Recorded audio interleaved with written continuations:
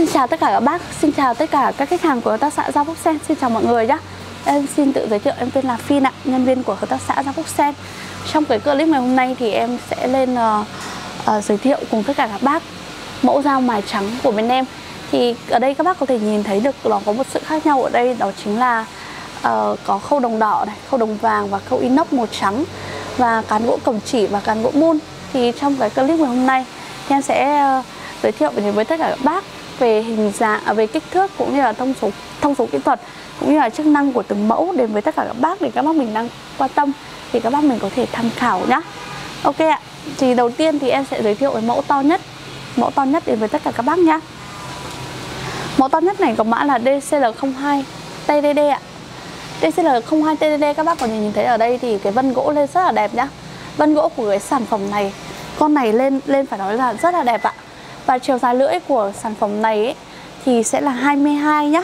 Bản rộng ở đây sẽ là bản rộng 6,5 ạ.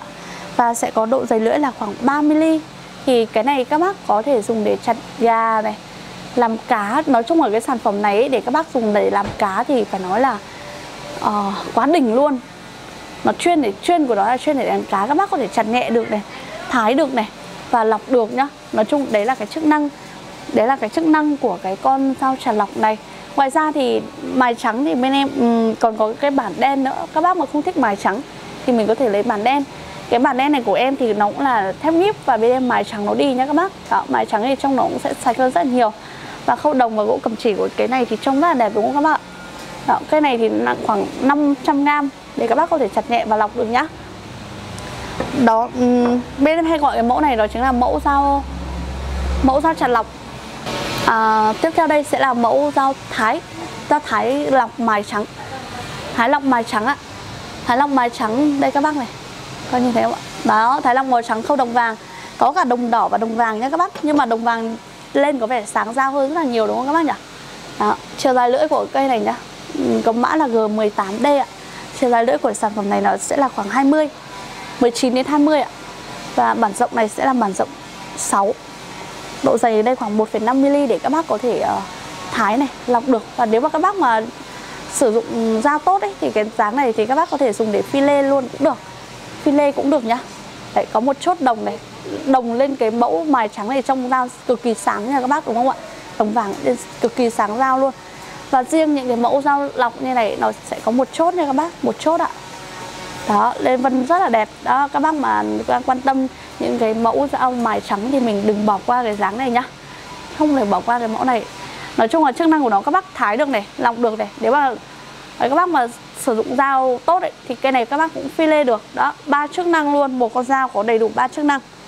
Thì tại sao mình lại bỏ lỡ những cái con dao mà đa năng như vậy đúng không ạ? À, ok ạ. Tiếp theo thì em sẽ chuyển sang cái mẫu uh, đề 3 Đề 3 này là đề 3 thái lọc có mã là N12T N12T này là mẫu dao thái lọc nhá. Mẫu dao thái lọc. Uhm, Chốt và khâu là inox và gỗ ở đây là gỗ mun. Mun là mun sọc ạ. Nó sẽ là thuộc cái dáng đề 3 Đề 3 này là đề 3 thái lọc nhá. Chiều dài lưỡi. Chiều dài lưỡi của cái sản phẩm này thì sẽ là 10 10 10 10 18. Bản rộng này là bản rộng 5 độ dày cũng khoảng 2mm để các bác mình có thể thái lọc được rất là tốt nhá. Cái này, con này để thái lọc được rất là tốt. Nó nó hơi giống cái kiểu dao của Nhật ý. nó nó được thiết kế theo kiểu kiểu như thế. Nó là một cái dáng D3 D3 lọc ạ. Đây sẽ là dao chặt lọc này, quy lê lọc thái này D3 lọc này, ba sản phẩm mài trắng của bên em giới thiệu đến với tất cả các bác để các bác đang xem clip ấy, mà mình đang ưng ý một trong những ba sản phẩm này. Thì các bác mình có thể bình luận um, số điện thoại vào dưới dưới cái bài viết này cho em dưới clip này cho em hoặc là các bác có thể nhấc điện thoại lên và gọi ngay đến số hotline của bên em đó chính là số 0987 240 733 nha các bác nhé. À, hoặc là các bác nhanh nhất là các bác gọi điện đến bên em hoặc là các bác Zalo của bên em là 0987 240 733 nhé. Thì clip này em sẽ dừng lại tại đây và hẹn gặp lại tất cả các bác trong những clip lần sau thì chúc tất cả các bác có một buổi tối thật là vui vẻ và hạnh phúc bên gia đình nhá. Xin chào và hẹn gặp lại.